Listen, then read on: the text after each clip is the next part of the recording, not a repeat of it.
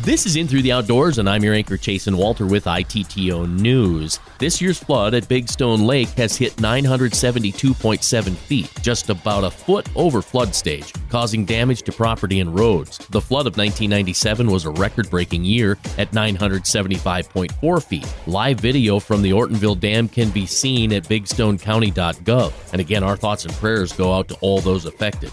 Evidence of this year's harsh winter is washing up on shorelines on numerous shallow lakes across South Dakota, Minnesota, and North Dakota. Dead and dying fish are washing ashore. Winter kill happens when the amount of dissolved oxygen available to fish becomes too low. Low oxygen environments happen when sunlight is no longer available to penetrate the ice, causing oxygen producing plants to die and generate higher levels of carbon dioxide as they decompose. While winter kill can be devastating, it can actually benefit a lake in a number of ways.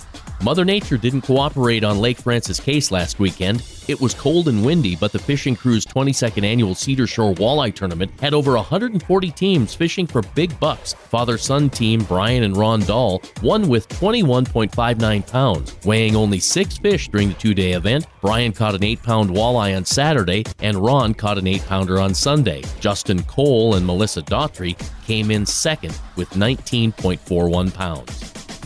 That's an ITTO News update. Enjoy the weekend. I'm Chasen Walter, and that's In Through the Outdoors. Find more at chasenwalter.com, Facebook, and YouTube, and thanks for listening.